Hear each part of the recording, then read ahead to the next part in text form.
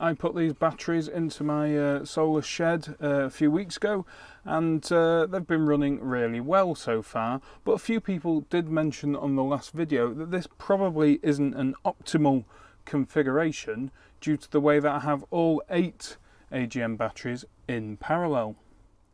And the issue there is that if one of these batteries goes bad then potentially all the other batteries start feeding energy into it and the whole battery bank suffers as a result. Now I completely agree that could be a problem but I think as long as I monitor these fairly regularly it should be okay. So they've had a decent charge today. This morning they were nice and bright.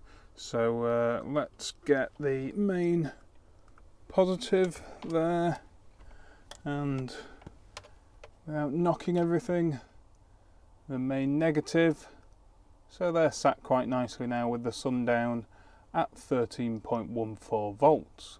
But of course checking the voltage on all the batteries isn't the full story. It could still have one battery pulling the whole pack down. So what we need to do is uh, put a load on these batteries and measure the current between each battery and hopefully that should increase as we go along. So I've got a 60 watt incandescent bulb that's actually lighting the batteries at the moment. I'm going to put that on my inverter and then we'll see how well these batteries perform. So that incandescent bulb is now attached to my inverter, uh, which is the noise in the background.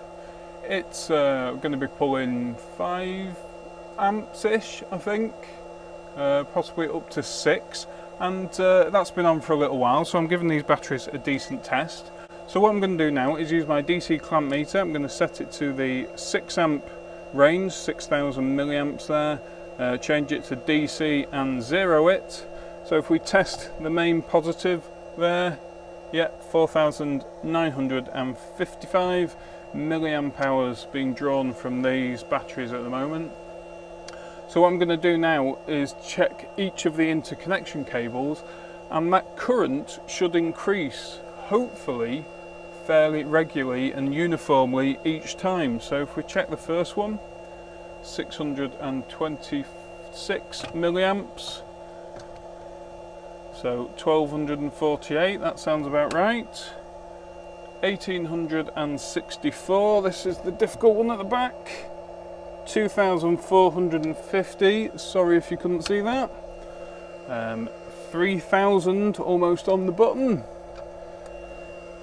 3,650, 4,200 and of course just to confirm 5,000 on the output. So each of these batteries is delivering uh, about 650 milliamps of current and that's all adding up and accumulating to eventually we get to 5 amps on the output. So I'm fairly pleased that these are all performing quite nicely but I will just check the voltage now that they're under load.